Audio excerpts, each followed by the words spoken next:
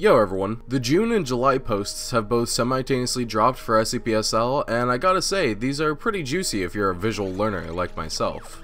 So sit down, grab yourself a nice cold glass of water, and let's get into things. Starting off with the June post, we're talking more about the revolver rework. Northwood states that while the current version of the revolver can be used well in the right hands, the weapon is deemed too odd for the general player base, which is the nice way of saying, Skill issue. To combat the issue, Mikkel decided to redesign the revolver from the ground up to be more powerful and versatile. This new revolver is based off the real-life Taurus Raging Judge model. Hopefully I pronounced that right. This revolver is more modern, being able to chamber 454 rounds, but also 410 shotgun shells. These different ammo types are translated to the game through attachments, not actually requiring you to pick up different ammo types, just the changing of your cylinder. There's the classic 6-shot cylinder, a 5-shot cylinder that uses AP rounds for higher penetration, and a 7-shot cylinder that uses the previously mentioned 410 shotgun rounds.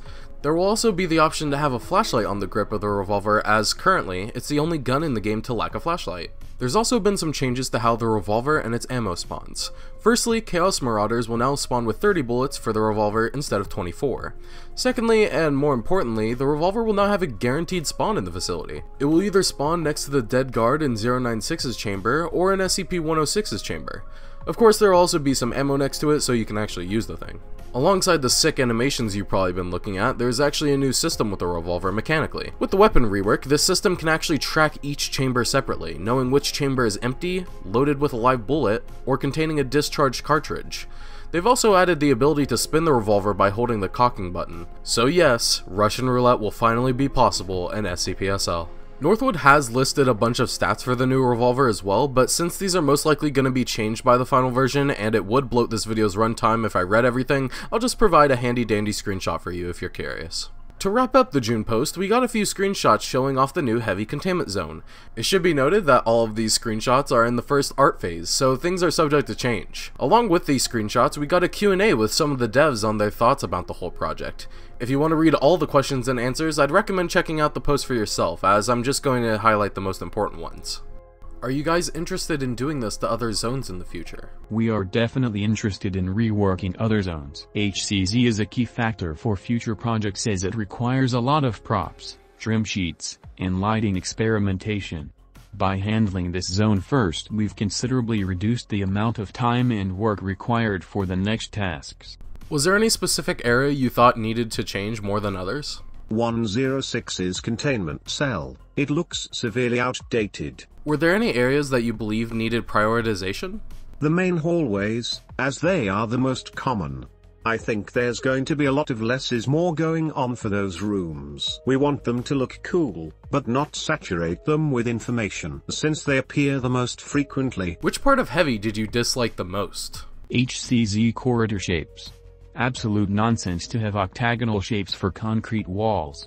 Worst part is cleaning the room's assets. It's a pain and it takes time to fix polygons and UVs, which is what took most of our time.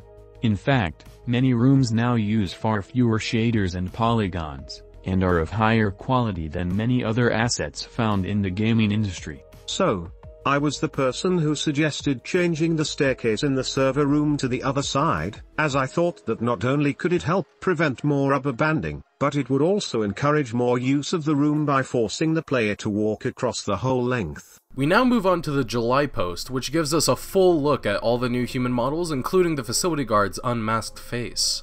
To go with these images, we also have another Q&A to go through. Again, I'll be going through the most important points, so if you want the full thing, feel free to check out the post.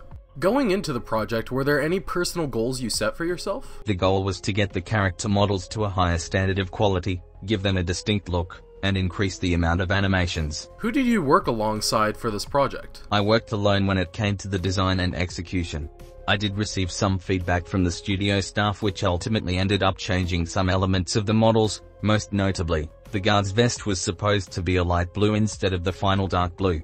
The implementation process is mostly being done by Hubert, as I limited myself to setting up the models and materials into Unity, he then worked on implementing animations and new features. What can you tell us about your rework of animations as a whole? I tried to give quantity and quality with this one, starting from scratch, remaking all the existing animations, and also adding all of those missing interactions, like using items or jumping while running. It was hard, full body animations require a lot more experience than FPS animations, so I had to adjust animations over and over, as I would spot unrealistic movements every time I would revisit an animation after a bit of time had passed, especially with the running animations. I hope the result was worth it and that people will enjoy these new animations more than the previous ones. And there we have it. Hopefully you enjoyed the video and all this cool new stuff. If you did, leave a like. If you didn't, feel free to comment. And either way, you should subscribe. Thanks, and have a nice day.